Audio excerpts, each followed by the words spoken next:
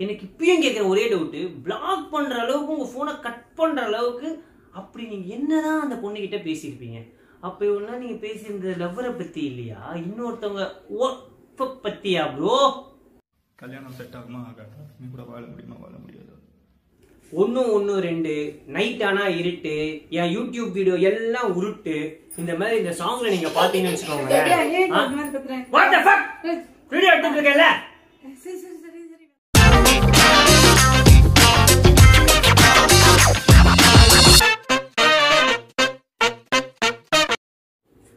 Hi guys பார்த்து ரொம்ப நாள் ஆச்சு இன்னைக்கு வேற எதுவும் இல்லைங்க. நம்ம மதன் கௌரி அவருடைய சேனல்ல ரெண்டாவது சாங் லான்ச் பண்ணியிருக்காரு. ஃபர்ஸ்ட் சாங் நீங்க பார்த்துருப்பீங்க. நம்ம சேனல்லே போட்டிருக்கோம். பாத்ரூம் சாங் சொல்லிட்டு. இப்போ பார்த்தீங்கன்னா எக்ஸ் அப்படின்னு ஒரு சாங் வந்து லான்ச் பண்ணியிருக்காரு. ஒரே ஒரு விஷயம் மட்டும் சொல்லிக்கிறேன். இந்த காலை நீ கட் பண்ணேன்னா அதோட நம்ம ரிலேஷன்ஷிப்பையும் நீ கட் பண்ணுற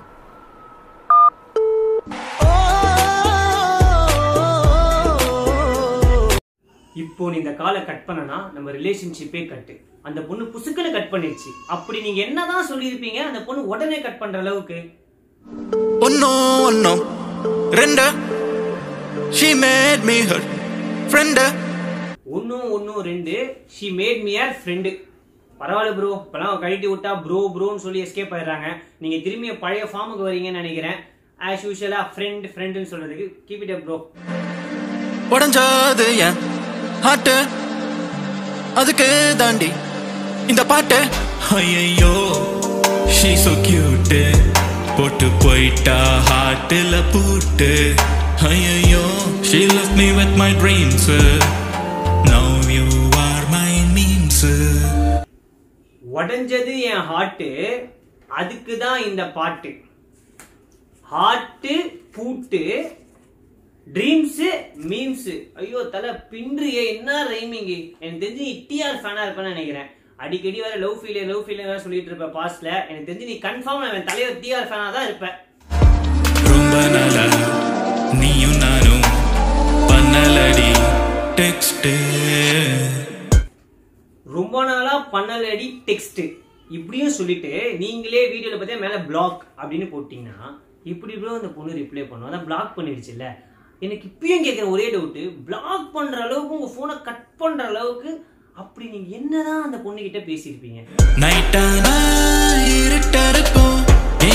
சொன்னதெல்லாம் உருட்டா இருக்கும். நைட் எல்லாம் இருட்டா இருக்கும். இப்போ நைட்டு நான் பகலாக அப்புறம் இருக்கும் அது இருக்கலாம் நைட் எல்லாம் இருட்டா இருக்கும். என் எக்ஸ் சொன்னா உருட்டா இருக்கும். ப்ரோ அவங்க உருட்டினாங்களோ இல்லையோ நீங்க நல்லா உருட்டின்னு இருக்கீங்க ப்ரோ அவங்க சைடே குறை சொல்றீங்க. நீங்க என்ன பண்ணீங்க? அதை ஃபர்ஸ்ட் சொல்லுங்க. நெக்ஸ்ட் சாங் அதை சொல்லியே ஆகுறீங்க.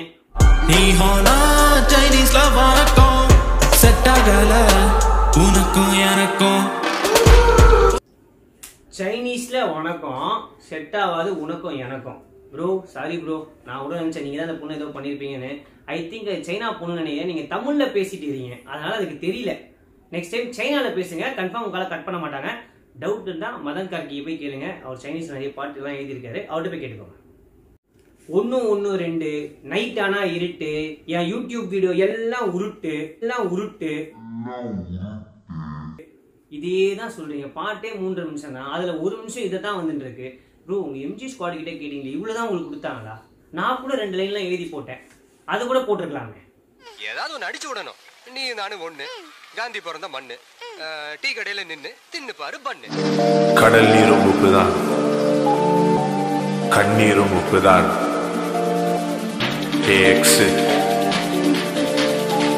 உன்னை காதலிச்சதே தப்புதான். தப்புதான். கடல் நீரும் உப்பு தான் கண்ணீரும் உப்பு தான் உன்னை காதலிச்சதே தப்பு தான் ப்ரோ பின்றீங்க ஆனா இப்பயும் சொல்றேன். ஒன் சைடாவே சொல்றீங்க. அவங்க மேல தப்பு இருக்க மாதிரியே சொல்றீங்க. எனிவே நான் உங்க ஃபேனு நீங்க சொல்றதா கரெக்டா இருக்கும். கன்ஃபார்ம் ப்ரோ பாய் பெஸ்டி வச்சுக்கிறது எல்லாம் ட்ரெண்டா நீ சொன்னி I love you as a ஃப்ரெண்டா ஏய் ப்ரோ இந்த பாட்டு கேட்கும்போது ஒரு டவுட் வருது. நீங்க பாய் பெஸ்டியா இல்ல லவ்வரா எனக்கு கேட்டே இருக்கும்போது இந்த டவுட் வந்துட்டே இருக்கு ப்ரோ இன்னைக்கு நீ என் பேபிமா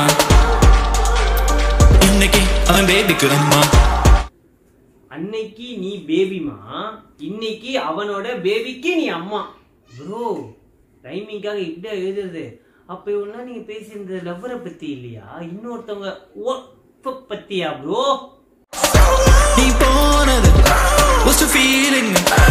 நல்லா இரு My darling. எக்ஸ பத்தியே கலாச்சி பாட்டு போட்டு இப்போ அவங்களே பார்த்துட்டு நல்லா இரு நீ நல்லா இருந்தா எனக்கு அது போதும் அப்படின்னு சொன்னா எப்படி ப்ரோ அதுக்கு நீங்க அவங்கள கலாய்க்காம இருந்திருக்கணும்ல. பட் போன பாட்டு மாதிரியே அந்த அவ்வா அவா ஸ்டெப் போட்டீங்க சூப்பர் ப்ரோ பட் என்ன அந்த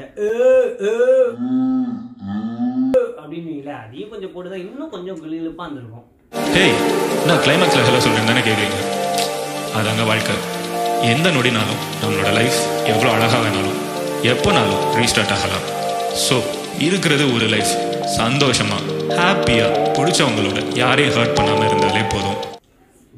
நீங்களும் லவ் ஃபெயிலியரை பற்றி நிறைய பேசிட்டீங்க ப்ரோ நீங்கள் உங்கள் பாட்டை லாஸ்ட்டில் ஒரு லைன் சொல்லுவீங்க அதே மாதிரி தான் உங்கள் லைஃப்பை திரும்பி ரீஸ்டார்ட் பண்ணிவிட்டு இந்த லவ் இந்த எக்ஸ் எல்லாத்தையும் விட்டுட்டு ஃப்ரெஷ்ஷாக போங்க ப்ரோ நீங்கள் எல்லாரும் கேட்கலாம் ஒரு பாட்டை பாட்டா பாருங்க எதுக்கு தேவையில்லாம பர்சனலாகவே பேசுறீங்க அப்படின்னு நீங்கள் என்ன கேட்கலாம். ஆக்சுவலாக ஒன்றும் இல்லைங்க. ப்ரீவியஸ்டாக அவர் நிறைய லவ் ஃபெயிலியரு நிறைய இதை பற்றி பேசியிருக்காரு. ஏங்க யூடியூபர் ஆர்ஜே ஷா கூட அவர் லவ் ஃபெயிலியர் பற்றி பேசியிருக்காரு. அதனால தான் இதை பற்றி நான் பேச வந்தேன். இல்லைனா இதை பற்றி நான் பேசியே இருக்க மாட்டேங்க. Hey, what the fuck is wrong with you?